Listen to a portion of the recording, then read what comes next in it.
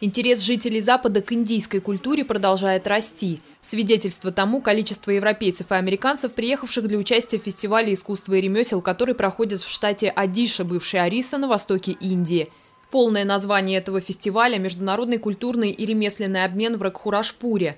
Это название местной деревни, чьи жители славятся своим мастерством в ремеслах и поддержанием традиций. Сегодня здесь гости из таких стран, как США, Канада, Великобритания, Чехия, Филиппины, Литва, Дания и других. Всего 25 мастеров, которые преодолели огромные расстояния ради культурного обогащения.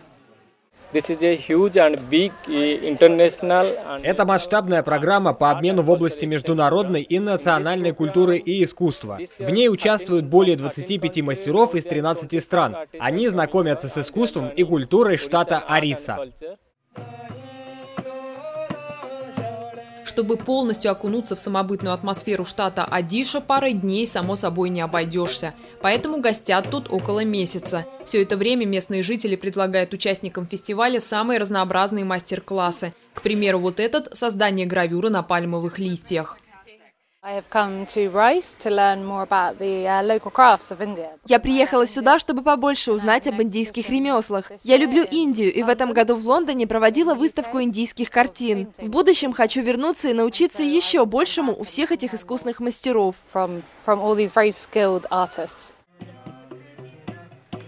А кого-то больше интересуют исполнительские виды искусства.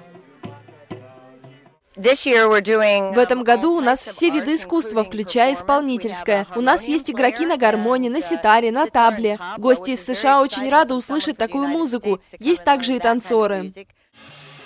Как сообщают организаторы, еще одна миссия мероприятия – обмен творческими идеями между мастерами разных национальностей.